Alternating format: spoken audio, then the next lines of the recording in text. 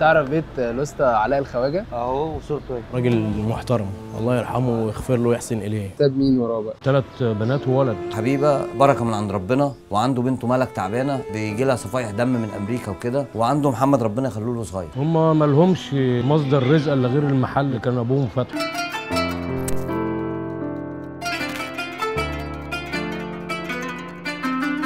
إيه اللي وصل المحل بقى إن هو يبقى في الوضع ده؟ عشان خاطر جوزي كان بيجي قبل الموسم اللي هو الموسم رمضان والأعياد وكده كان بيبقى عامل جمعية بنبقى عاملين حسابنا بنجيب بضاعه بننزل حاجات كتير وكده. فلما توفى ما كناش بندفع الإيجار الكوي وفي نفس الوقت ما جبناش بضاعة. فكرتي تعملي حاجة تانية أو تشتغلي شغلانة تانية تشوفي مصدر دخل تاني؟ هو في ناس قالوا غير النشاط وإحنا نمولك وكده وأنا رفضت عشان دي كانت رغبة جوزي ان يفضل عجل. حتى لما الإيجار اتكون والمحامي عمل مشكلة معانا.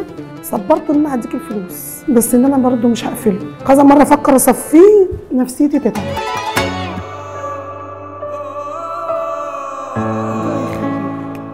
جبنا لك بضاعة عجل قلنا لك إحنا عرفنا برضو إن هو لازم يبقى فيه فطوطه لازم يبقى فيه مكنة علشان تأجر وآلة نفخ جبنا كل حاجة منفاخ وقطع غيار العجل وكل حاجة. إن شاء الله ده يعني موسمين ثلاثة أربعة لحد ما تقفي على رجلك. بس أنا عايزك تعملي بحاجه عايزك دايما تساعدي الناس اللي حواليك. خيركم من الناس من ينفع الناس.